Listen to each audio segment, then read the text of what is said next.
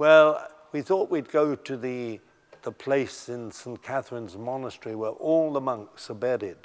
But when they're buried, they're buried in sand and left for four or five years, and then they're dug up. And then they're distributed.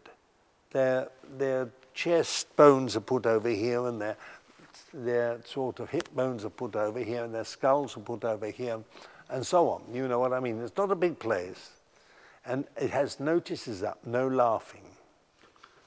Uh, so we went in and we tried to be as serious as we could. And we went, man, I said, good gracious. I mean, always monks. I mean, it's all the time from the third century.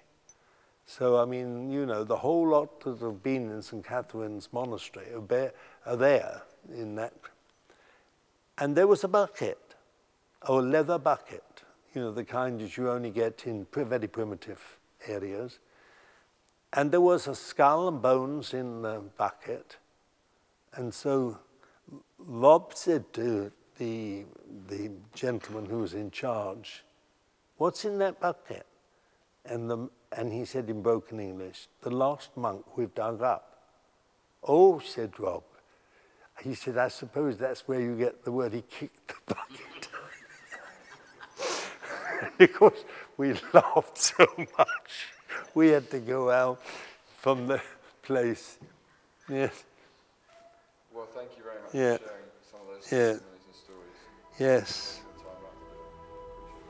Appreciate it. Yes.